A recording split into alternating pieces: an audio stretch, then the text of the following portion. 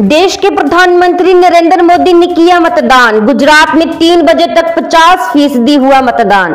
नमस्कार, आप देख रहे हैं हिमाचल न्यूज़। में दिव्या हाजिर हूँ दिन भर के बड़े अपडेट के साथ।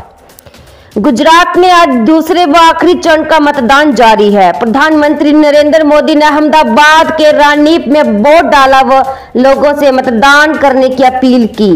वोट डालने के बाद प्रधानमंत्री अपने भाई से मिलने पहुँचे और मीडिया से की बातचीत। गुजरात के चौदह जिलों की तिरानवे विधानसभा सीटों पर मतदान चल रहा है। 2017 के विधानसभा चुनावों में बीजेपी ने तिरानवे में से इक्यावन सीटों पर जीत दर्ज की थी। कांग्रेस को उनतालीस तक तीन सीटों पर निर्दलियों ने जीत हासिल की थी। वहीं आम आदमी पार्टी की जमानत जब्त हुई थी।